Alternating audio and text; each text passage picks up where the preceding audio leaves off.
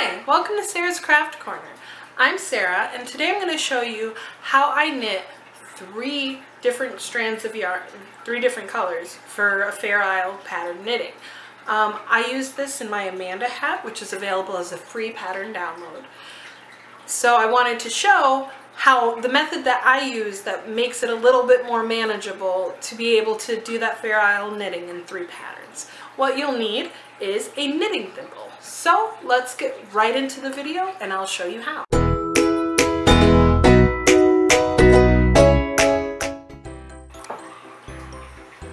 Okay, so now we're set up to do three-stranded. This is my preferred method of doing three-stranded color, which is using the knitting thimble, using your two, you know, more prominent primary colors and your background color in your second hand. So it, com it uses a combo of two-stranded knitting and a knitting thimble. So our pattern is pretty simple. Do light blue.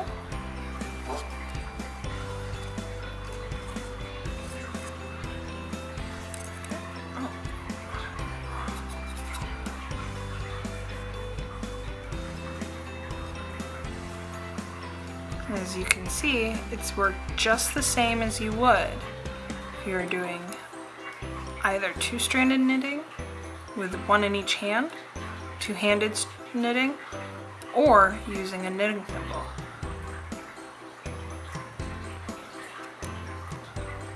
Then I'll pick up the brad.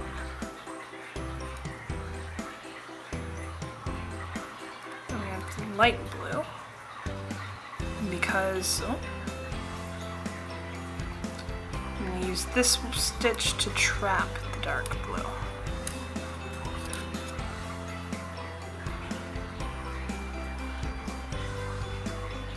And the red. Light blue.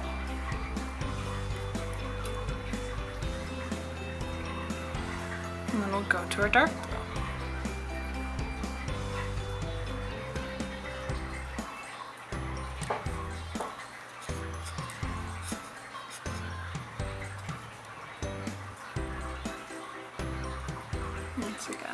Light blue, our mauve, our light blue, trap the dark blue, mauve, light blue, and then our dark blue. See, doing it this way, once once you know how to do two-handed and once you know how to use a knitting thimble, it's easy to add a third strand in there to just combine the two two ways. It takes a little bit of practice, but it keeps all the threads so they don't get tangled up.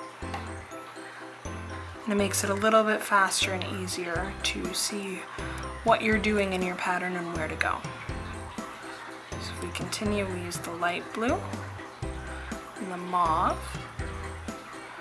And the light blue again, but this time I'm trapping. So I'm gonna trap this dark blue.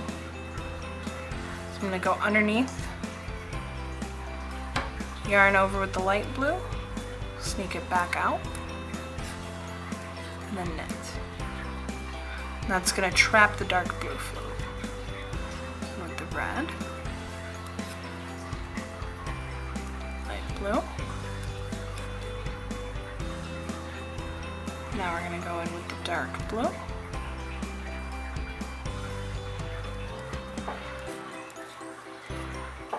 As you can see, each strand is keeping where it needs to be.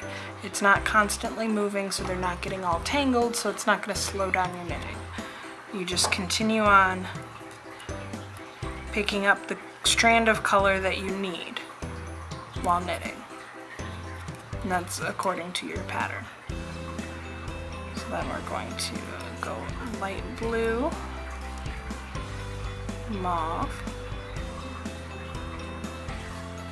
light blue trap the dark, mauve,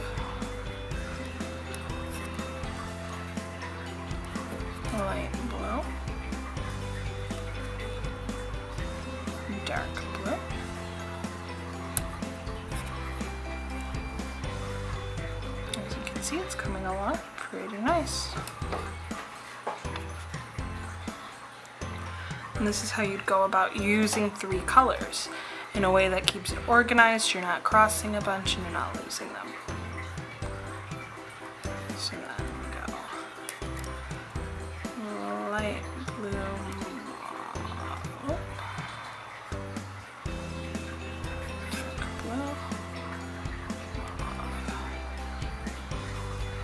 Light blue, dark blue. Oh.